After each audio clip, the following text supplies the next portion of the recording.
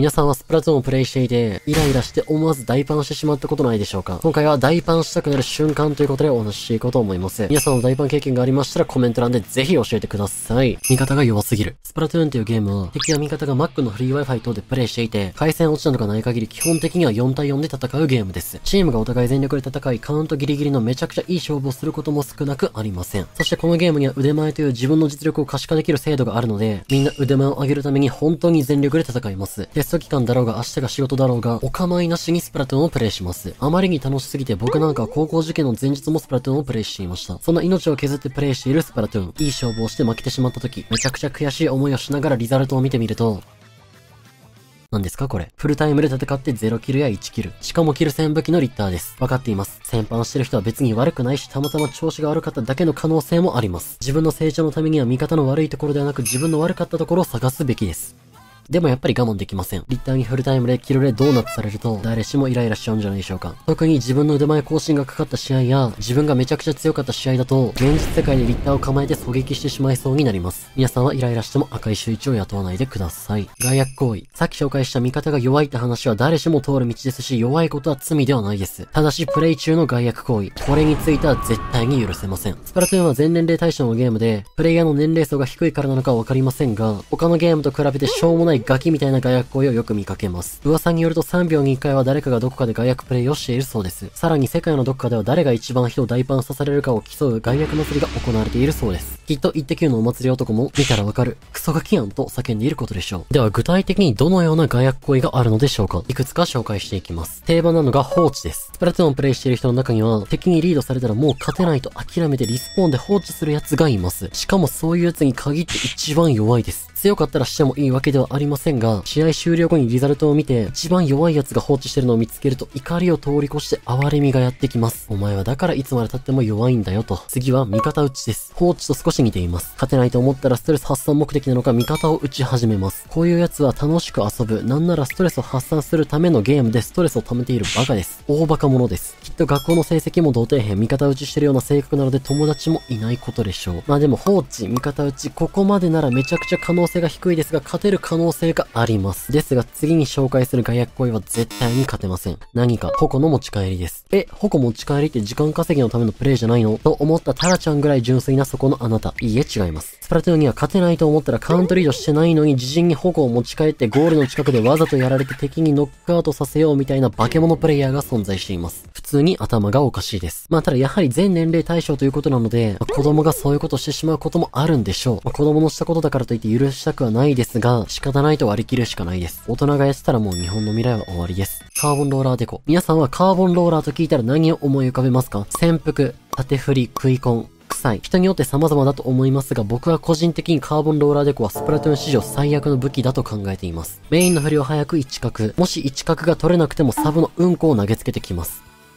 汚いです。スペシャルは自分の子供をたくさん投げつけてきます。ど畜生です。これがカーボンローラーの性能ですが、これかなりひどいです。なぜならこちらはノバブラスターを使っています。ここで、いや、俺ノバとか使ったことねえよっていう滞在人は、コンビニの前で TikTok を撮ってるヤリラフィーたちと毎朝ゴミ拾いをしてきてください。それで許してあげましょう。話を戻して、こちらは大人気武器のノバブラスターを使っています。ノバブラスターの爆風を活かしてせっかく段の下を索敵、クリアリングしてるのに、あいつらは床を貫通して縦振りを当ててきます。しかも一角です。何なんですか？このゲーム。ノバブラスターは爆風を2回当てないと倒せないんで、急に出てきて一角で倒されると無理です。絶対に無理です。カーボンはそのノバの弱いところを狙ってきます。最低最悪です。次にせっかく一角を避けたと思ったらうんこを飛ばしてきます。それを耐えてももう一つうんこを投げてきます。汚いです。だからカーボンが嫌いなんです。というと、じゃあカーボン使ってみれば？と言われます。使った結果、何もできません。なぜか自分が使うと縦振りは当たらないし潜伏もバレます。うんこを投げ切った後にはインクが切れた空のローラーを空振りするしかできません。このことから任天堂は何かしらプログラムを組んで僕がカーボンを使う時だけ大幅な弱体化をしていると考えています。間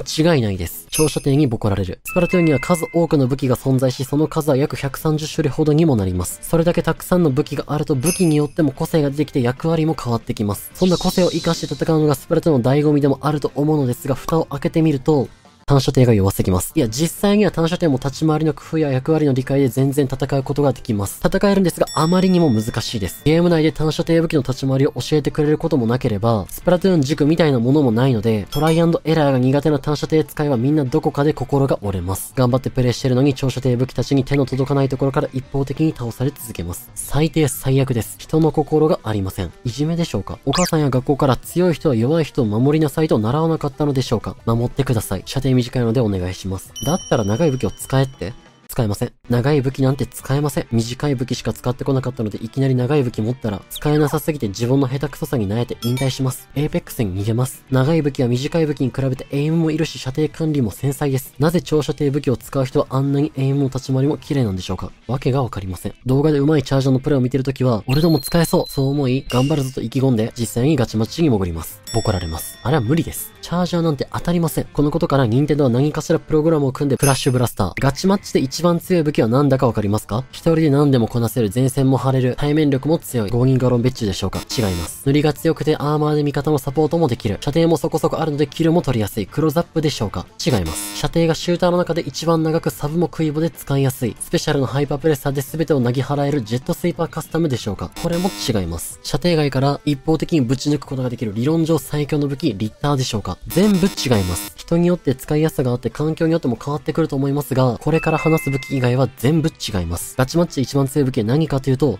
クラブラです。意味わからんぐらい広いクラブラの爆風が一番強いです。出た出た。リオラチャンネルがまたふざけたこと言ってるわ。そう思われるかもしれませんが、本当です。いやいや、10カスのハイプレやリッターの射程外キルの方がどう考えても強いでしょ。という方がいます。確かに腕前 X の人のハイプレは射程外から無差別に壁貫通でキルしてきます。どうしようもない驚異的なスペシャルです。リッターも同じです。では聞きます。ハイプレで最後にキルをしたのはいつですか？多くの方が1年以上キルしてないと答えるでしょう。ハイプレは射程外から無差別に壁貫通でキルできますが、9割以上あと一発が当たりません。そういうシステムになってます。あと一発になるとハイブレの先端が曲がりくねって当たらなくなります。それを理解してる人はクラブラで突っ込んできます。やめてください。爆破がでかすぎてキモいです。特に初心者のうちなんてこっちは頑張ってエイムを合わせようと必死なのに向こうはアホ面下げてよだれ垂らしながらキルしてきます。自分のしてきたことを全て否定されてる気がしてもう無理です。耐えられません。ステージの偏り。スプラトゥーンでは2時間ごとにルールとステージが変更される仕様になっています。例えば11時から13時まではガチエリアでステージがザトウマーケットとチョウザメ造船。13時から15時まではガチヤグラでモンガラキャンプ場とバッテラストリートみたいな感じです。2時間で変わるのでぐるぐるといろんなルールやステージを楽しめるのですが、中にはひどい組み合わせの時があります。それが何かというと、単射程がクソ強いステージと単射程がクソ弱いステージが同じになった時です。言うまでもないですが、このステージの組み合わせは最悪です。え、そうなの？単射程が弱いステージと強いステージがあるなら、長射程や中射程を持てば対応できるくないと思った猛者の方。残念ながらスプラトゥーンプレイヤーにはそういった思考はなく好きな武器一筋という方がたくさんいます。もちろんその思考自体は悪いことではなく、むしろ僕もそっち派です。では何がやばいのか。プレイがやばいです。モンガルキャンプ場、長射程がたくさんいます。チャージャーやスピナーなどがどっしりと構えている中、単射程武器の必戦が正面から突っ込んできます。バカです。勝てるわけがありません。ナイフを持って機関銃に突っ込むのと同じです。もう一度言います。